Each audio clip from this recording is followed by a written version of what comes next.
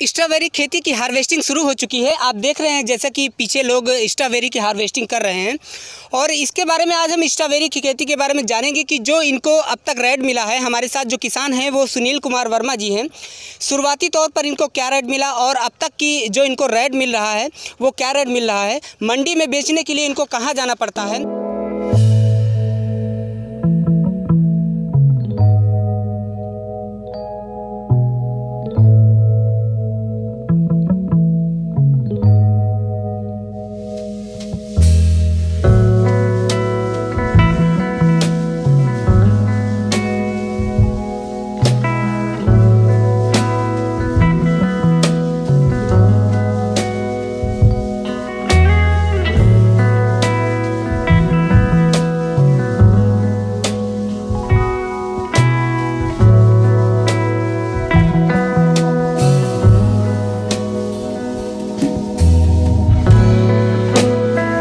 जो स्ट्रॉबेरी खेती है खेती की अगर हम बात करें इनकी बिक्री की अगर बात की जाए तो ये विदेशों तक इनकी स्ट्रॉबेरी खेती स्ट्रॉबेरी इनकी बिक्री के लिए जाती है। तो हम जानते हैं सुनील कुमार वर्मा जिससे कि जो इन्होंने स्ट्रॉबेरी की बिक्री की थी वो अब तक कहाँ की थी और जो इनको रेट मिल रहा है वो कौन सा रेट मिल रहा है? सर। जी हमने जो इसकी बिक्री शुरुआत किए थे तो पहले तो 800 में बिकी है। जी। उसके बाद में 700 जो ये आपको 800 का रेट मिला है सर 800 रुपये प्रति ट्रे वो किस महीने में आपको मिला था? जी नवंबर में। नवंबर माह में आपको आठ सौ रुपये का। इसके बाद में सर जो आपको रेट मिलना शुरू हुआ वो कौन सा?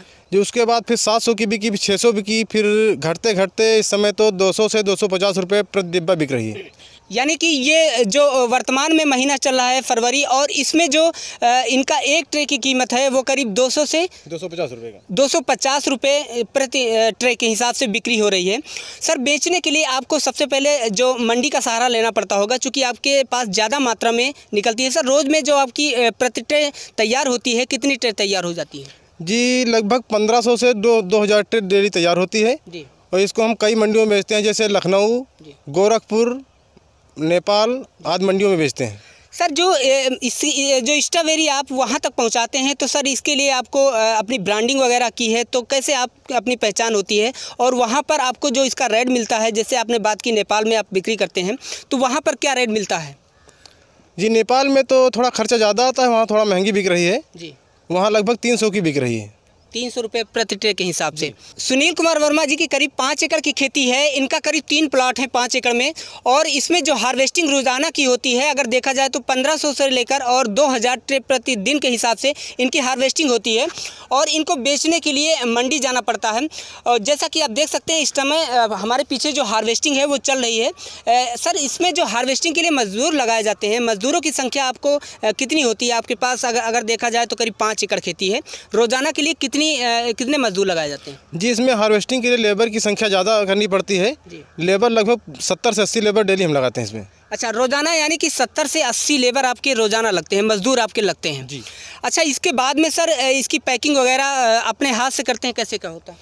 जी एक पनेट आती है उसमें पैकिंग करके फिर आठ पनेट एक डिब्बा में आती हैं उसको पैकिंग करके फिर बेचते हैं। हमारे साथ ये किसान थे सुनील कुमार वर्मा जी, जिन्होंने स्ट्रॉबेरी की खेती की थी और इस समय इसकी हार्वेस्टिंग चल रही है। हार्वेस्टिंग के साथ साथ ये करीब दो महीने से मंडी भी बेच रहे हैं। तो अगर स्ट्रॉबेरी की खेती किसान भाई आपने नहीं देखी है तो इसकी जितनी भी वीडियो की लिंक है, आपको इस वीडियो के डिस्क्रिप्शन में मिल जाएँगी। वहाँ पर जाकर आप सारी वीडियो देख सकते हैं। फिर कभी मिलते हैं एक नए कंटेंट पर। तब तक के लिए नमस्कार, जय हिंद।